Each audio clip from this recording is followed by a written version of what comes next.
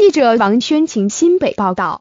二十九岁的林姓男子昨日驾车载住二十九岁的潘姓男子行经新北市新庄，并将车辆违规并排在丰年街丰尼巷口。巡逻员警经过上前盘查，不料林男竟加速逃逸，直冲上新海桥往板桥方向逃逸，在下桥处还企图冲撞员警。员警见状，朝车轮射击三枪，林南持续逃逸。直到板桥和西路四段时，车辆爆胎，卡在分割岛才停下。警方当场将林潘两人逮捕，带回侦讯。警方调查，林潘两人都有毒品前科。昨日晚间八时许，两人将车违规并排在路边，且未开大灯，引起巡逻员警注意。林南见警上前盘查，竟加速逃逸。